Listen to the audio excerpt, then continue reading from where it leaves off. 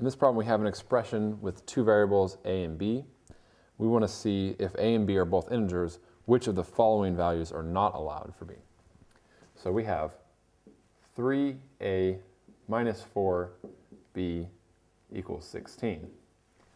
So let's try a couple of different things and see what happens. We want to see which one is not possible. So let's just try uh, c, or b is equal to 2.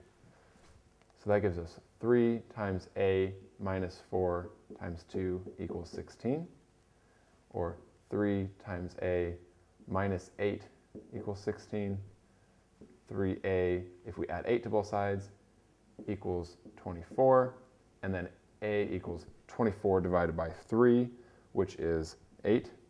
So this says that if b is 2, then a is 8. They're both integers. So part C is possible. So let's try part D. D says b is equal to 3. So let's try that one. 3 times a minus 4 times 3 equals 16. 3a minus 12 equals 16. 3a adding 12 to both sides gives us 28.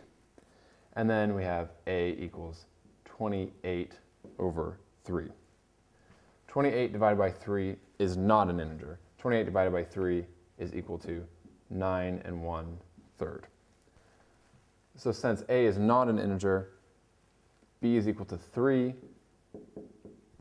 is not possible for a to get an integer, even though b is. So the answer is D. b is equal to 3.